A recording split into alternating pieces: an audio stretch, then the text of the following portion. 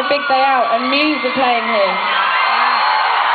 I remember watching their show and being like, fucking hell, man, look at how many people they're playing to. Never in a million years did I think I'd be on this stage. So thank you.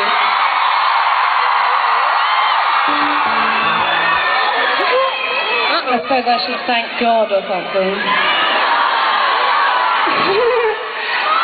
Maybe not. Uh, this next song is all about him, Mr. G.O.D. It's called Him.